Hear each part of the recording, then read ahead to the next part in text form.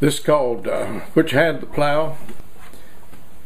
First heard this one played by um, and sung by Jenes Cottrell from over in uh, Clay County, West Virginia. Uh, I really like the, the song. I know it comes from the black tradition, and that's the way I hear it played with um, a lot of syncopation to it.